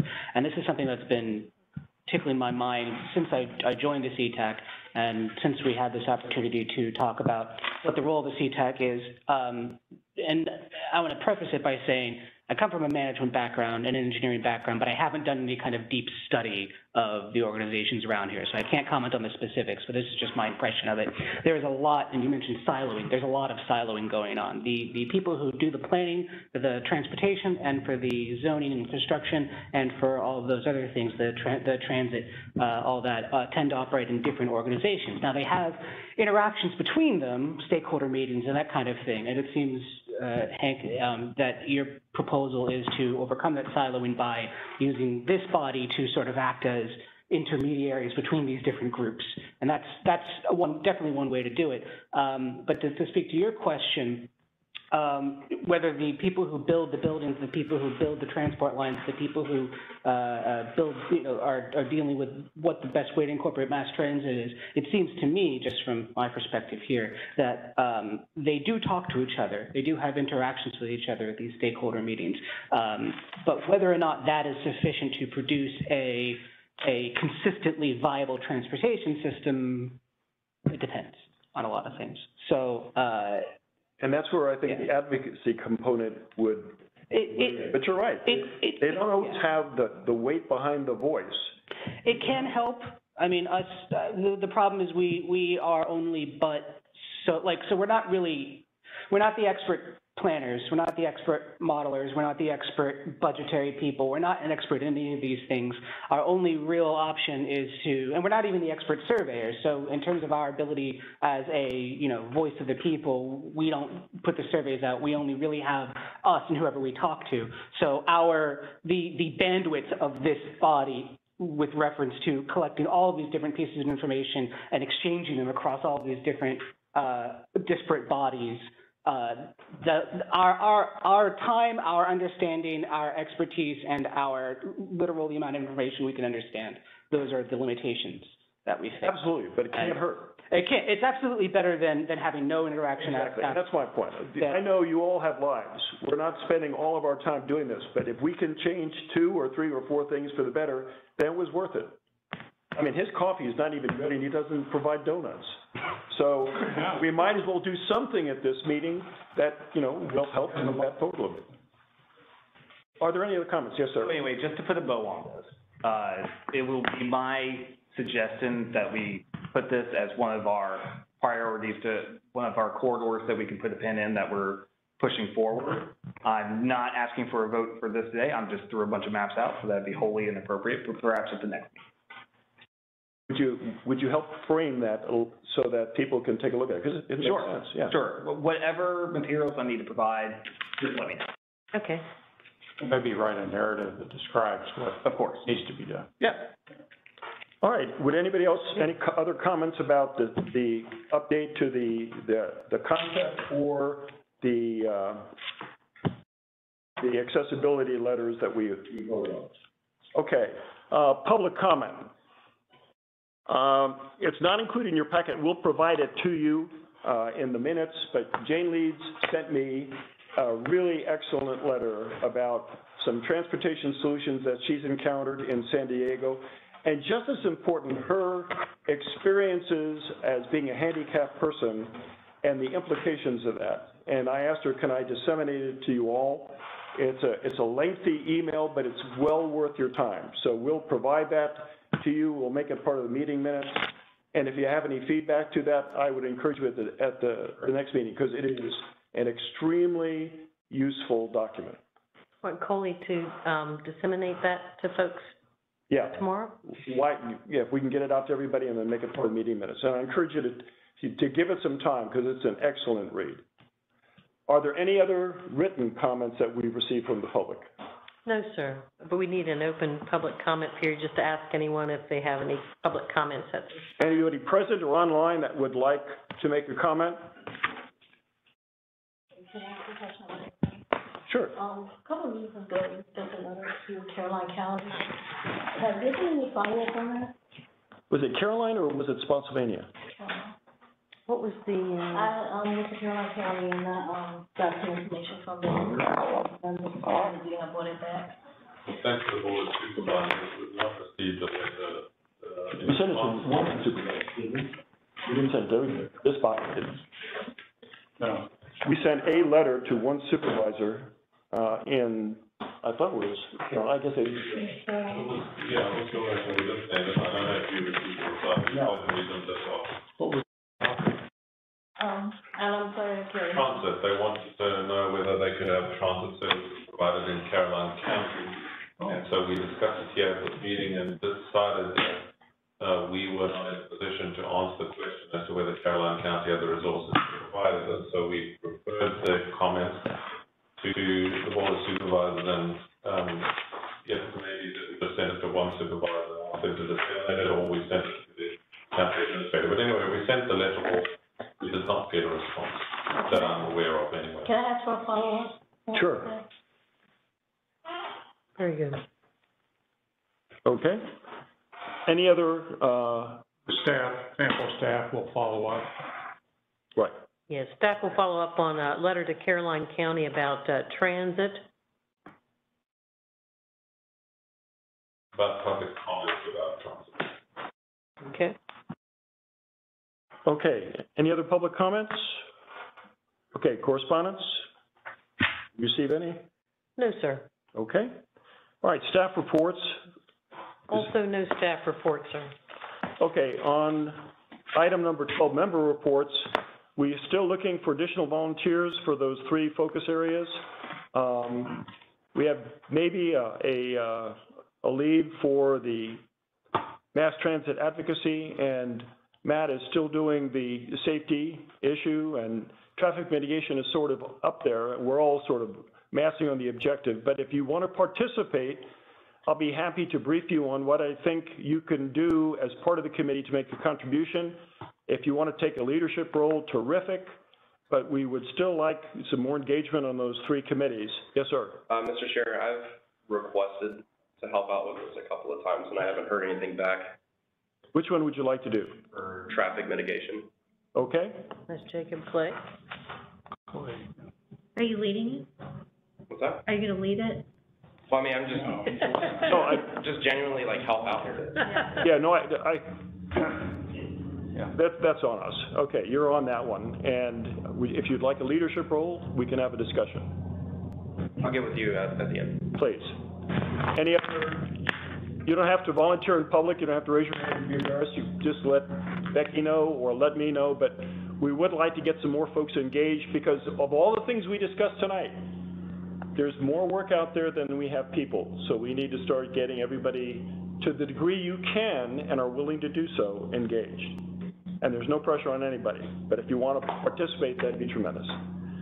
All right, any other discussion about those member reports? Anything you want to bring up? Okay? I do. Please. I'm going to approach VDOT, because I have a my VDOT account there. So if there's something that's in my craw, so to speak, I'll bring it up, which I've passed, and they've been responsive. Thing that's bothering me right now is this cleanup along the roads throughout the region. They're finally, in April, doing a pretty good job, and they have this company, and I don't remember, uh, it's Townsend or somebody, it's a There's about six or seven of them, different Yeah. companies. Yeah, I don't know if they have different ones, but I see the same trucks all the time. Yeah, they're all tandems, but they're different companies. Yeah. But I don't know what the priorities are, because, you know, where I live, in the, in the area I live in, I did a lot of cutting of trees to clear roads to make them passable during the storm. So I know what's been sitting there since I cut that tree last, you know, and most of them are still there, and this is on Joshua. And then Poplar Road, heavily traveled road in that area. And it appears that they're just, you know, uh, I always say, uh, there are guys in VDOT that drive around in trucks all day. I know that's not true, but I, I say that, and I don't see them stopping and taking a look at all that, because it's there, and I see it every single day. Can, And- and- can I ask you to reach out to them and, and ask what's their priority? Well, that's, yeah, I'm going to. I'm going to ask VDOT, because I've been patient for a long time, and I've seen it, you know, since the storm. And it's not, I mean, there is a definite pattern to the way they were doing things. They were moving kind of from I-95 outward west. Started clearing those roads. And, and some of them were really well cleared, and others weren't so well. So I don't know what their criteria is, probably different contractors is my guess. Yeah, there, there's at least six different companies, but if, The reason I say that is because I am, I have been on the board, I still, I owned a tree service in Stafford County for a long time. I still have all. It doesn't start getting cleaned up, I'm gonna tell, I think it's Steve Haney at VDOT, that I'm going out there and I'm gonna clean it up. That's how passionate I feel about getting it done because it's, it's just neglect, and they're, and I, I know they know which roads are more heavily traveled than others. They've done surveys, they've ran the pipes across the road, they've done a lot of things. I, just don't see their logic now that we're out in the western lower density part of supposedly lower density. Still building houses out there. But it's, it's a safety hazard, and I always say, and I've said it in here many times, there's no Stafford deputy that's gonna pull somebody over on a two-lane road out there in western Stafford County. Too risky. So, There's no room, there's no shoulders, there's just ditches. And I pulled a lot of cars out of ditches. so if you would, see if you can get some kind of response. I will tell you that their projection is end of June, and if, if, it is. And if you want an eye-opener, drive out to the Stafford County landfill. Mm-hmm. There is a ski jump that will accommodate a thirty-ton bulldozer constructed entirely of ground-up trees. Yeah, I, that's, It's the most amazing thing I've ever seen. This thing is 30, 40 feet high, made out of mulch that will take a bulldozer. yeah. I just wanted to add that, uh, I'm seeing the same stuff in Spotsylvania. There's a lot of roads, especially the road that I live on. Okay. There's, there's at least, uh, three or four thousand people that live in that general area. And the roads there, there's massive pine trees that are still laying there. And the community, like our community, chopped them up and kind of like made room ourselves on the roads because it wasn't getting done. But there's still like trees like everywhere and they like stick out too. And I've, I've seen people Yeah. actually damage their cars. Yeah, the stickouts. Uh, especially me, like especially at night. Uh, I've almost made that mistake where it just scrapes the whole door. And Well, I've actually scraped my Yeah. trucks Well, and. well, let's do this. Yeah, we'll provide Ask the that. question, and then tell us, feedback to me, where we can buttonhole the VDOT representative at the policy committee meeting and say, these areas apparently have not received any service whatsoever, it's a safety issue, what is your plan? What, what we need to do, uh, uh, Coley will send out the, um, uh, website address for the VDOT report a problem. We did that after, uh, we spoke that like I said, I have a my VDOT account. Okay, so, so what's necessary is you need to go on and give the specific locations for those, where those trees are in the VDOT Report a Problem site. And when you give your email address, they are, it's a, a work order number is generated from that request. And you can have a record of what you sent them. It also let, allows you to upload photos, but specific, for example, go in and say, you know, your name, email address, um, such and such road from here to here, debris in the side of the road. Make a copy of that. That's the, uh, documentation we need to say, okay, that's been, that's been given. So rather than anecdotal, Yeah, we we can actually give need them your, something we at the need your meeting. work order copy, work order number so-and-so. Attach a photo to your. Yeah, so I'd say your two cases are the, are the test case right off the bat. Mhm. And we We'll can, start afresh, so with sending that link, everybody go on and, and report their problem, and then whatever's printed off, let us have it so we can follow up. Are we able to add this to our next meeting? To make, like, basically take the month to, to gather like our photos and, and for the yeah, process? if you'd like, if you want As to get an something agenda sooner item? than that, great, but we an can make agenda that item? part of an agenda item. That's a great idea. Give you the, the site, there's a site you go to. Yes. Yeah. And you can attach photos, and I'm not sure about video. I've never- And I'm, I'm sure they're overwhelmed, I, I, you know, I, I'm, I'm, what I would like to think is that just because they haven't received the report of problems, it probably is a system, but VDOT central office is really solid about that, when that work order is generated, then somebody becomes accountable. Yeah. They find out where you are, it's sent to the headquarters, it's sent to the district, so putting that in the report of problem is so important. So can I just clarify, we are gonna send the committee the web link for you to go and report a problem? Mm-hmm. Or we're gonna send it now, like this week, Mark, yes. and then mhm. you can report your problem long before the committee meeting? Yes, You can report it in the next week. yeah, that's the important step. Just demonstrate, yeah. Tell everybody if you got a response. Okay? I'm sure you will. Any other questions or comments from any members? Oh, I got one. please. real quick, I don't wanna like keep everybody here, I just had a, uh, I'm looking for some clarification. So, we're an advisory committee, and our objective, correct me if I'm wrong, is to aid in reducing, mitigate, or, uh, traffic, uh, congestion, is that like one of our, okay. Hang on So- a second, hang on a second. The purpose of the committees of FAMPO by law are to advise the policy committee. That's a legal requirement of what you do. Your current chairman has proposed the process of developing a mission, is it a mission statement? Yeah, it was a mission statement. And now three kind of focus areas of Advocacy. of advocacy. So it's not that you're here to fix congestion mitigation, it's that you're here to advise the policy committee, and you've developed a mission to describe that you want to be more active and activist, and you've developed three areas in which you would like to find uh, problems, identify problems, and work on solutions that you can propose to the bodies that are responsible for solving them. Pro- pro- Provide an added set of voices for them to consider as they make the decisions about resource allocation and things like that. Okay. Yeah, the reason why I brought that up is because I'm hearing a lot of talks about roads, and I know that's in its infancy stages, but, I forget who it was, but someone made, uh, a great point that doesn't matter how much pavement we put down, it's gonna be, it's, it's gonna buy us some time, but it's still gonna become a problem anyways. There's too many people coming into Virginia.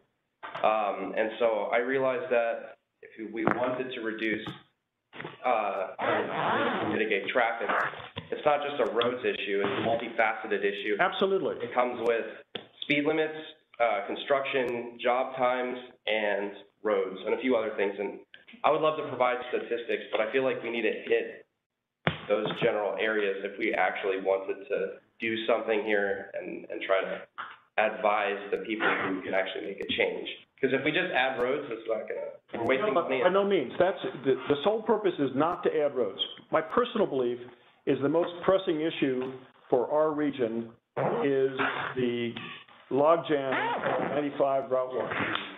And so, short-term, short to be defined as one, three, five, whatever, we need to do something to fix that. Now, there are other things that are going on simultaneously. East-west mobility study. There are routes in the area that lend themselves very well to mass transit, but there are other places that it doesn't because of the way the population is distri- distributed, the density. The money doesn't exist to do all of those things simultaneously. So we, as part of our advocacy, is sort of separate the things that are most pressing from the things that should be done to things that would be nice to do, however you want to prioritize that, and make those kind of recommendations to the decision makers and help them frame, because this, this is a huge issue. Somebody once said, well, you can't pave your way out of this. I got it, but at the same time, unless you want to drop a 20 megaton bomb on Stafford County and start all over as an urban area, you're stuck with a set of preconceived, uh, pre-existing conditions that you have to work around. Similarly, in um, Spotsylvania and so on. Even Fredericksburg, which has the highest density in some areas, all of the mass transit solutions, traditional ones, don't necessarily work to the maximum advantage. So there's, there's a whole panoply of things that we need to consider and sort of pick and choose as we go forward. Like I said, it's a tough job, and we're just advisors, but if we don't advise and advocate, then it just falls back into the same unwashed middle. Just one comment from us humble planners earlier. The point that you make is a very valid one, and it's our job, Becky and myself and Coley and three other, four other staff that we have here, to advise you, like we advise the policy committee and the other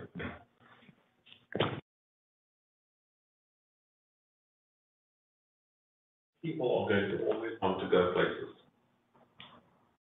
And at a simple planning level, the alternative to building more transportation infrastructure to get them there is to put them closer to the places. I'm, I'm it down to like very, very simple basics. I mean, there are complicated terms for all of this, but at a simple level, you can put the people close to the places they need to go.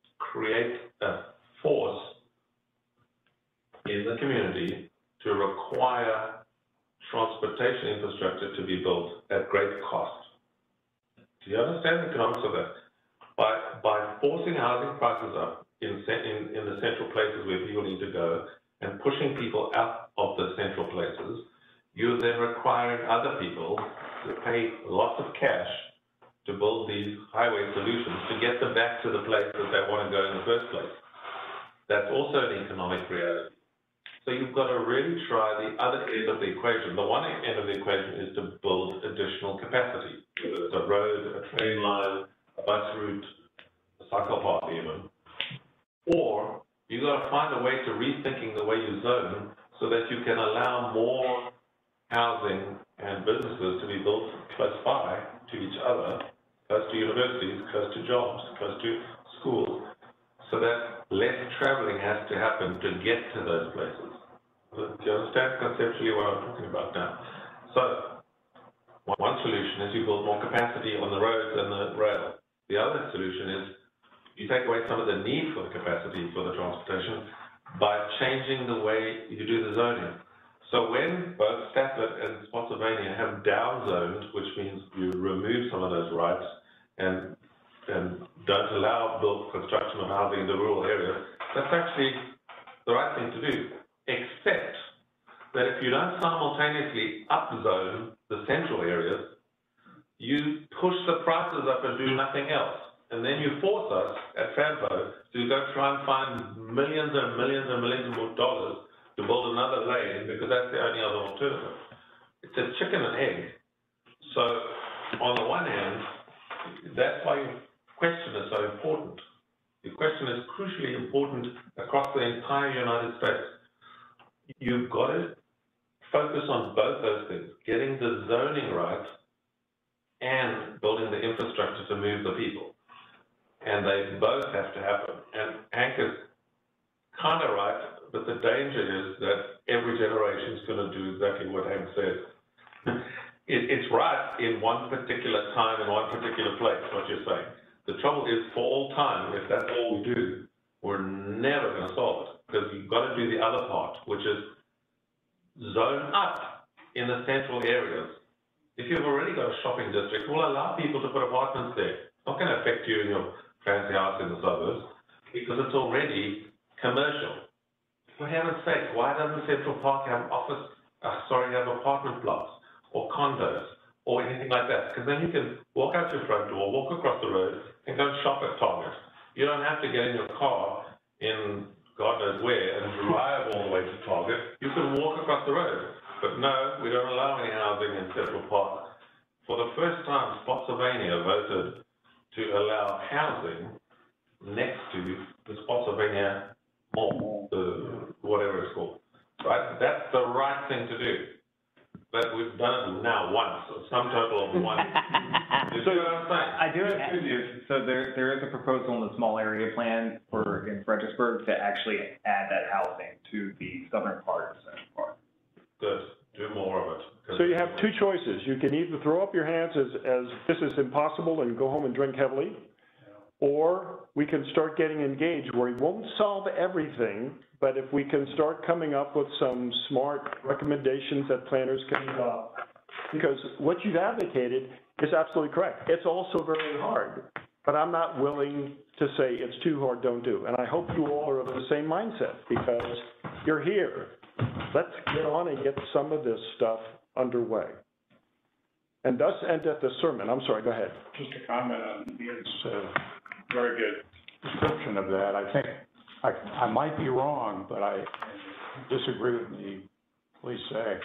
Embrey Mill in Stafford, Embrey Mill development is exactly the type of development you're, you're referring to. I'm not familiar with it. Yes. The the concept is called mixed use. No, that's, that's Embrey Mill. Embrey Mill. I sit on their CD. You have Publix, uh, big store there, just put it in, the big swimming center, the Jim Mhm. Rouse Swimming Center is there. There, there's, uh, strip malls strategically placed through the zoning around Embrey Mill. And I don't know what the population is in Embrey Mill, I'm afraid to ask. When it's, when they finish building it out, twenty-four hundred units of mixed use, Oh, Coley's age been part of restricted and that. so on. And pretty upscale, uh, I mean, it's up, It's, it's classy. pretty expensive. I- I'm not arguing that every place is to be expensive, but do put them together. I remember the discussions before, when they were conceiving Embrey Mill, Stafford County. And that was exactly what you said. Move people closer to the services they require Correct. and, and, Keep that thought when the discussion about staff, downtown Stafford comes up, yes, because that will be a major fight. But yeah, anyway, I, I'm sorry, I- I digress. yeah. In the interests of time, anybody else have anything they'd like to offer? And- And don't let me cut you off, but any other, cu- yeah, I, it's a, It's a mix, they've got. it's a tremendous community. Yeah, see right there, they got the, I would say that, uh, I, actually come from Fairfax. Uh, I am one of the people who moved down here because I can't afford it up there. Uh, and you do see up, I, I, I agree generally with what you're saying, but I also do see up there mixed use, there's new, uh, a new community in Merrifield, uh, over by Gansden, that is, um, that embraces that, you have apartments on top of shopping, and it's, yeah. things like that, so that does not bring prices down. Well, is- It's not a question of bringing prices The mix, uh, so let me just clarify that. It's, the mixed use itself is not gonna, just because you mix it up, bring the price down. It's economics. You have to have volume. So you have to have enough new property coming onto the market. And across the entire United States right now, we have a shortage of housing. So because the net is that there's more children being born, more people moving into neighborhoods than the housing available, the price is gonna go up. So the mixed use stops you having to drive your car to the shop, and we're a transportation uh, thing. But it doesn't stop the price going up. What stops the price going up is you have enough mixed-use developments to keep the prices reasonable, and that means lots of construction. But you have to have the zoning to allow the construction to happen, because if you don't have the zoning to allow it to happen, not enough will get built, and therefore the prices will be very high. The- I mean, why, why do we think the prices of new homes and, and existing homes in the United States right now so high? Well, it's because we're not building as much as the need is increasing. So the only way you fix that is build more. Some people don't like to hear that either, but that's the fact. The fact is, you don't want to pay so much, well, you gotta build twice as much as what we're building. Or, you know, and I'm not saying what kind we have to build. We can build small, pokey, cheap apartments or massive mansions. And then the flip side is somebody has to pay for the services to support those people. But that's, No. But, but that's one of the reasons why you have to build density. Because the pipe, the sewer pipe, the water pipe, the road, Yeah. the longer it is, the more expensive it is, and the more, the, the fewer people that live along the road, the higher the cost per unit. And the more kids, the more schools. Are you on Uh, septic? This, That's- okay, this is, a- anyway. this is a very complex thing. Yeah. Uh, I just got my, And ideally, some of these so- sidebar discussions could take place as part of these subcommittees, and then you can come on back and, because this is huge, folks. Unless you want to spend eight hours every week here, we wouldn't even scratch the surface. So again, my, my starting in position was, let's sort of organize for combat, focus on those things we can affect, so that we can tee up informed recommendations to decision makers. Yes, sir. Motion to adjourn. second, There is a motion. Dave Swan. Dave Swan seconded. All in favor? Aye. Aye. We didn't have discussion, but that's okay. Any opposed? All right, meeting is adjourned.